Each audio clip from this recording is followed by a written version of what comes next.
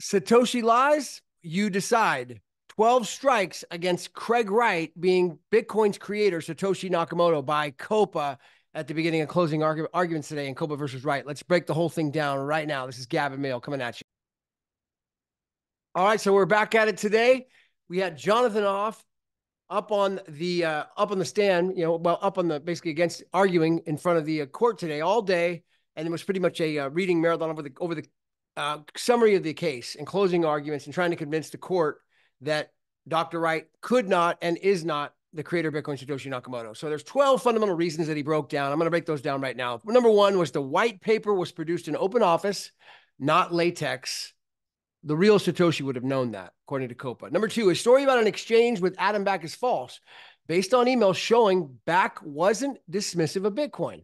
Number three, Wright claimed to have discovered Wei Dai's work earlier, but the real Satoshi found it back, found it via Adam Back. Number four, Wright Satoshi PGP key key was posted before 2011 for signing and not generated by Wright. Number five, the code Wright lacks core knowledge like UNINT and check block held by Bitcoin's real creator would have known these things. Number six, the upload was free of the upload was a free Dubai hosting service and not from Australia, as Wright claimed. Number seven, Patch Tuesday reference references made no sense at all for Satoshi's timeline, according to Wright. Number eight, the real Satoshi knew mining mining cost wouldn't be $11,000 in electricity, as Wright, Wright stated. Number nine, no real evidence. The real the real Satoshi sent Bitcoin to Zooko, the founder of Zcash, as Wright alleged. Nick Bohm was an actual and early recipient. Number 10, the Genesis block had a public key, and the real Satoshi wouldn't, the real Satoshi would recognize it, but Wright doesn't. Number 11, the real Satoshi used the term cryptocurrency, which Wright rejects. Number 12, real Satoshi would have rejected Gavin Andresen using GitHub or involved WAD as Wright claimed. So this is a point by point analysis by Copa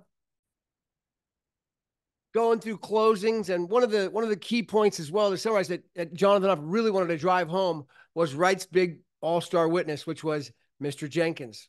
We broke this down before in the past, where Jenkins came forward and testified about witnessing a document called the uh, Timecoin paper in early 2009.